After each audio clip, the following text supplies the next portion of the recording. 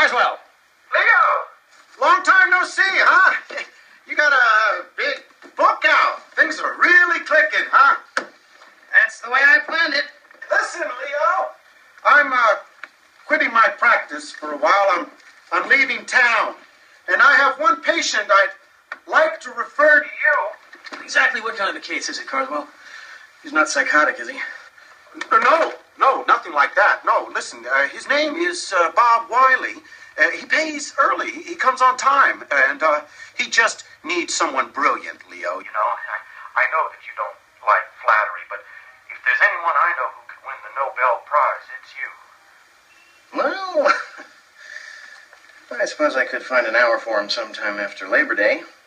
Okay, I'll uh, I'll work him in for an interview. Say, Carswell, uh, how come you're quitting the business? We're a dying breed, Leo. Good luck.